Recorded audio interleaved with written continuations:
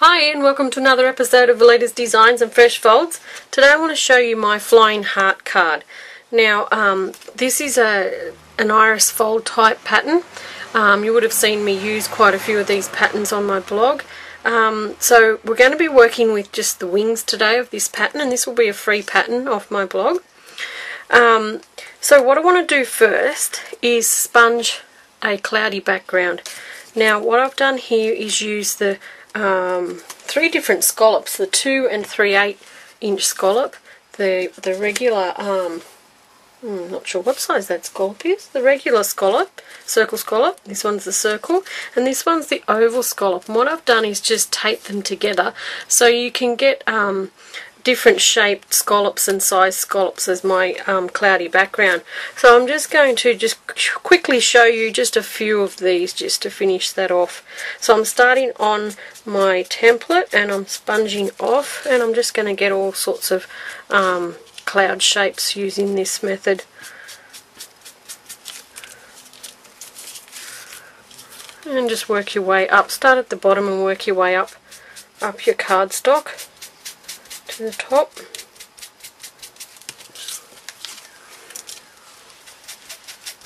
And put your template on different angles and use different parts of um, those scallops just to um, give you different shapes every time you move it around. One thing you want to remember is not to, I'll just finish that little bit there, is not to go over, like I've put my um, template here and just take your sponging just to here don't go over that cloud that you've just um, finished previously. Right so just one more. Okay and that's my cloudy background. Now what I've done then is I've traced the heart. Take your pattern put it on a window or a light source and trace um, the outline. And because I'm not going to fold the inside of my heart here which you're welcome to do anyway, um, I've just drawn a line here and here, and this is where I'm going to cut. So I'm not going to, where's my rubber? Oh, I can't see where my rubber is. I'm not going to cut this heart section out here. I'm only going to cut out both the wings. Okay, I'll show you in a sec. Okay, so using my sharp craft knife, I've cut out those two wings like I've mentioned and I've just left that that there um, because we are going to glue um, a punch heart over that centre instead. So, you know, you can see how that's going to come together already. So what you need to do is print out your pattern. I'll just move this. Um, tape it to the bench. And then you're going to, I've got to get this figured out in my head. Then you're going to cut that out with the craft knife and you're going to place that over your pattern so that you can see through there. And will stick that down to keep it all anchored. Next you need to cut up some strips of paper for your wings. I've got a shimmery mother of pearl paper here. It's hard to see on the video but it's really um, got a really nice sheen to it. So cut up your strips that are approximately that size just allowing a fold to um, be placed in that. Now following the numbers, number one, so you'll fold that down and lay that down on the line of number one and get some tape and tape that down. Don't be too worried about um, what's going to hang off the card. We'll um, we'll fix that up at the end. Okay, so number two, just remember not to get any sticky tape on your pattern because you will see that at the end if you do. So putting the fold on number two line, going to stick that down. And you'll continue to do this all the way down. I'll just do one more to show you and then we'll skip along. So put a fold along there. Put that folded edge along number three. So we're going to put a bit of tape there. So your tape's going to go onto this card here. Don't put it on the pattern like I said. Okay, I'll be back. Okay, so I've finished my heart and I've taken it off my pattern and that's how it's looking already. Okay, so what I want to do is then glue my punch heart over the center like that, where you'd normally make your fold for your um, your flying heart. Alright, I'm just going to quickly show you how I've shaded this centre heart here as well. So just punch out your large heart.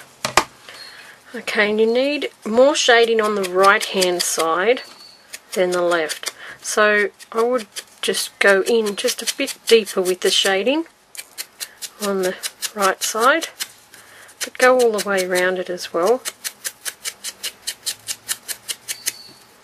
This is going to give you a nice colour depth in your heart. Okay, so make sure you've got a deeper shading on the right side there. Alright, grab your sponge dauber and it's got white already on that and I'm just going to just dab a lot of it off so you know you can see there how soft that is.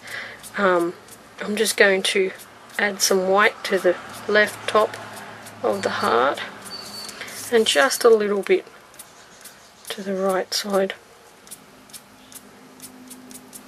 And if you put a little bit too much on, just go back over that with the, that's cherry cobbler. Right, so I'm just going to put just a touch more on there. Now to make this little emphasizing um, edge on the heart, it's actually got a clear glitter on it. I've used the small oval punch, punch that once, and then go in and punch a little curve like that double punching it. Alright, and I've used my, I'll just get that on the right side. I've just sponged that in the white. You don't want it white white, otherwise you just cut out some white card. You want to still have that red showing through just a little bit. So it's sort of going to turn it a pink colour. Alright, and I haven't got any um, crystal effects at the moment. I have to order some more but I'm just going to improvise with my glue. So I'm going to glue that on there. Just going to give you the little a little curl on the heart.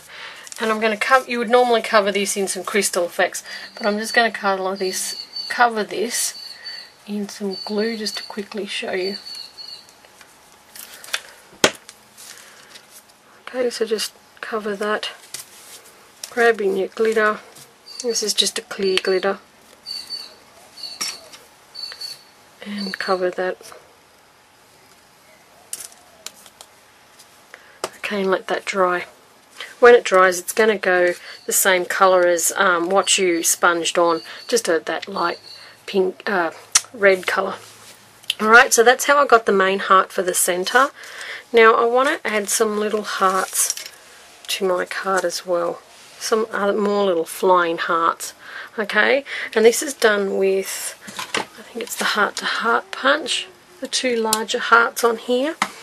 And I'll just move this over and you can see here how I've cut a scallop oval